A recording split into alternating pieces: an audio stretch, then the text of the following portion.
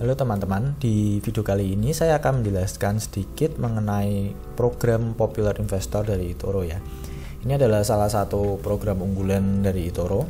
Jadi pada prinsipnya teman-teman yang sudah memiliki akun di eToro dan merasa portfolio sahamnya sudah bagus ya, sudah menghasilkan profit secara stabil, bisa um, apply menjadi popular investor ya. Jadi portfolio teman-teman nanti bisa di copy oleh orang-orang lain dan semakin banyak yang mengcopy portfolio teman-teman, maka penghasilan bulanan yang diterima teman-teman akan lebih banyak lagi.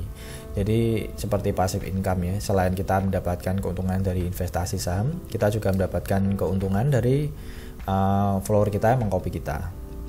Jadi setiap kali ada orang yang mengcopy portfolio kita, kita akan mendapatkan seperti fixed payment dan sampai 2%. Dan ini uh, dibayarkan secara bulanan dan 2% tadi ini dihitung dari total aset under management ya. Jadi seperti reksadana seperti itu. Jadi ini adalah total dana kelolaan kita yang dihitung dari uh, dana-dana uh, orang yang mengcopy kita. Nah, di program Popular Investor ini ada empat level yang bisa teman-teman jajaki. Jadi semakin tinggi uh, dana kelolaan teman-teman, nanti bonus yang diterima akan semakin besar. Di sini ada empat level, ada kadet, rising star, champion hingga elite dengan jumlah pembayaran yang berbeda-beda ya, semakin tinggi semakin besar. Dan kemudian di sini teman-teman juga bisa melihat requirement. Uh, di, misalnya di antaranya minimum average equity ini adalah equity di portfolio teman-teman ya minimal harus memenuhi syarat ini. Kemudian minimum copiers atau orang-orang yang mengcopy portfolio teman-teman. Kemudian ada minimum dana kelolaan. Jadi minimum uh, dana kelolaan dari orang-orang mengcopy harus sesuai dengan persyaratan di sini ya, sesuai dengan levelnya tadi. Nah, kemudian bagi teman-teman yang ingin mencoba untuk mengcopy portfolio orang lain, teman-teman bisa masuk ke akun teman-teman, kemudian pilih copy people. Nah, di sini ada banyak sekali eh, orang-orang uh, yang bisa teman-teman copy portfolionya. Karena eToro ini sudah global, jadi teman-teman bisa melihat orang-orang dari segala penjuru dunia. Nah, di sini teman-teman bisa sudah dikelompokkan ya menjadi seperti editor's choice, ada yang paling banyak di copy, kemudian yang sedang trending, kemudian ada top investor dan lain-lain. Kemudian saya ingin coba mencari popular investor dari Indonesia. Nah, jadi kita bisa langsung filter di atas ini kita klik go saja. Kemudian ini adalah orang-orang yang dari Indonesia yang sesuai dengan kriteria filter ini ya. Bisa teman-teman edit sendiri nanti. Nah di sini teman-teman bisa melihat profilnya. Uh, di kriteria ini kita bisa lihat kalau belum ada yang mengcopy ya rata-rata baru dari Bristol Con ini. Kemudian ada Pak Wilson. Lo ini kalau nggak salah mungkin mantan CEO nya dari Bibit tapi saya mungkin salah juga Nah, untuk mencari yang sudah jalan, saya akan langsung search saja di sini. Kebetulan ada Pak Tommy Yu juga di sini dari JSX Pro. Pak Tommy Irawan. Nah, Pak Tommy ini adalah salah satu uh, YouTuber panutan saya dulu waktu pertama kali saya belajar membuat channel YouTube tentang saham. Ini udah uh, sudah level pro ya mungkin ya. Kemudian di sini kita bisa lihat uh, ada profilnya dari Pak Tommy dengan risk score 5 tadi saya sudah bilang kalau risk score yang baik itu di bawah 6 ya. Jadi ini cukup baik. Kemudian ini ada uh, performance-nya ya. Screenshot performance. Nah di sini Pak Tommy ini sudah memiliki follower 240 dan 24 orang yang mengcopy. Jadi ini sudah sangat bagus nih Pak Tommy.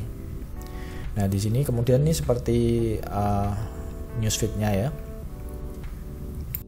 dan jika saya klik di statistik di sini nah teman-teman bisa melihat performance dari portfolionya Pak Tommy. Uh, di sini kita bisa lihat uh, di Maret minus 11% kemudian April profit 9,6 dan di Mei 4,4% ya. Jadi Pak Tommy ini sudah ada di Toro sejak 2019 ya. Kita bisa lihat historinya di sini kita bisa klik juga Nah, kemudian kalau kita scroll ke bawah lagi, di sini ada penjelasan maksimal drawdown itu maksimal penurunan di portfolio. Eh, rata-rata harian ada 5%, minus 5%, kemudian rata-rata mingguan minus 8%, uh, rata-rata tahunan minus 21% ya.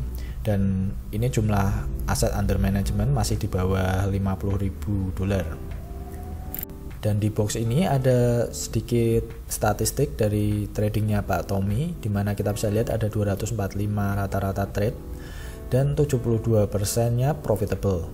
Nah di portfolionya Pak Tommy ini 85% diisi saham kemudian juga ada copy people ada komoditas ada ETF dan currency. Dan di frequently traded ini teman-teman bisa melihat aset-asetnya. Dan di bawah sini ada statistik, tambahannya seperti rata-rata trading per minggu, uh, average holding time, dan ini aktif sejak 2019 dan profitable weeks-nya. Kemudian di tab portfolio di sini teman-teman bisa melihat apa saja aset yang dimiliki Pak Tommy. Di sini ada cukup banyak yang dimiliki mulai dari ETF hingga saham. Ini uh, contohnya ada AMD, ada Micron dan Nvidia dan sebagainya. Kemudian teman-teman juga me, uh, bisa melihat berapa persen yang dialokasikan dan posisinya posisinya saat ini ya, profit atau lossnya. Nah, kemudian jika teman-teman uh, yakin dengan kinerjanya pilihan aset-aset dari Pak Tommy, teman-teman bisa langsung mengcopy portfolionya beliau dengan klik copy di atas ini. Nah, di sini karena uh, minimal adalah 200 dolar untuk mengcopy portfolio, uh, dan saya belum memiliki dana maka di sini tulisannya deposit now ya. Tapi kalau teman-teman sudah memiliki dana teman-teman tinggal klik copy saja. Dan sewaktu-waktu teman-teman juga bisa menghentikan kopinya kalau uh, menurut teman-teman kinerjanya kurang memuaskan. Saya sendiri belum memutuskan untuk join dari program Popular Investor ini karena saya belum pede ya.